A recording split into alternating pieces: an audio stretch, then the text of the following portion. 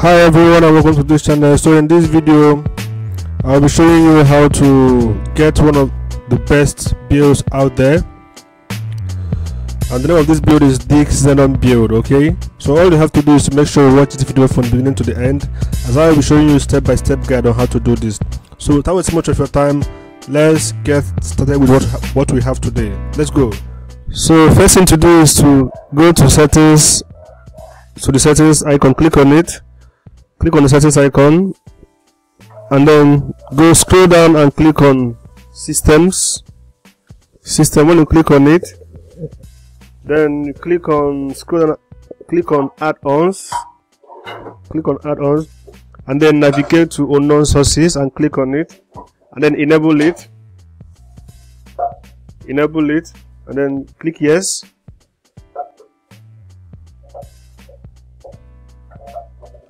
and then go take a, take a step back. Click on the back button. And then here when you get to this point click on file manager. And then click on add source. Click on add source. And then click on none once you click on none now enter this url the way it is. Make sure you enter it. Double check triple check after you must have entered the url to make sure that the url is correct. So click um, https diggz1.me slash diggz repo after that click ok and then continue the process that follows in this video if you are new to this channel please subscribe enable notification and then let me know your thoughts. Your thoughts is very important. Comment comment so that i will know what you think about this particular build. Yeah. So click ok. And then click scroll down and click ok to click ok. Click ok. And then go back click on the back button and then now here click on add-ons. Now sc scroll down and click on install from zip file. Click on it and then click on diggz repo or if you use a different name you can click on them you use to save the media file and then click ok. Click on the repository dot or click ok depends.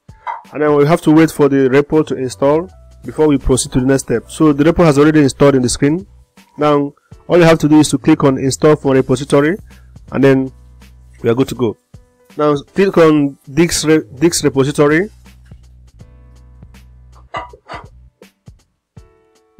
Now click on program add-ons.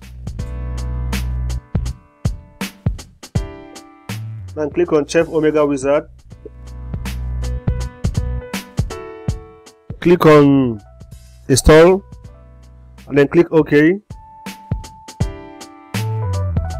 Now you have to wait for the installation to initiate download and complete. So while we are waiting for the whole process to complete before we move to the next step it's always recommended to use Kodi with a VPN a VPN masks your online identity and then gives you 100% if not 99% um, privacy while you are on the internet. So there are a lot of VPN out there you can get. Just go get the one that is um, according to your pocket pocket friendly without any hidden charges. You can go for the one month subscription three month subscription or six month subscription. So just make sure you get a good VPN this I, I would recommend IPVanish or NordVPN check out them get them and then use them with um when you when you are online to protect your privacy okay?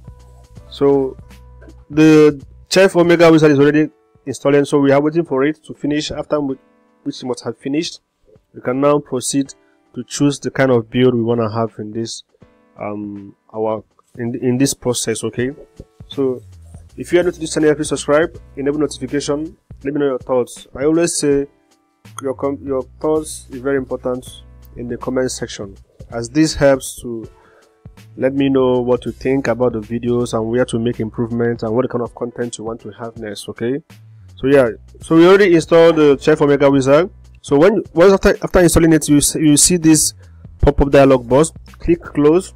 Once you click close you wait a while. You wait a little bit for the um another when you see this okay? Click yes.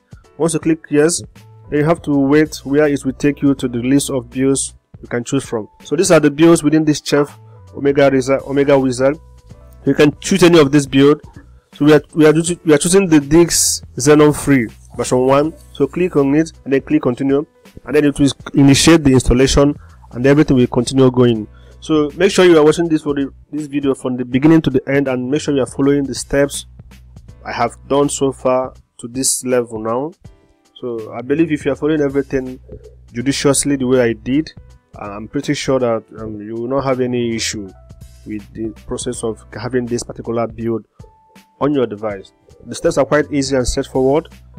All you have to do is make sure you watch it step by step with attention. Yeah. So that's it guys. That's how to have this particular build on your device okay so let me know your thought like i always say your thought is very important in the comment section like this video share with your friends who want who might likely need this kind of build in their on their device or at home so that's it guys let me know your thoughts and then subscribe and then i'll see you guys in the next one thank you for the support so far. I really appreciate. Yeah. Thank you guys. Mm.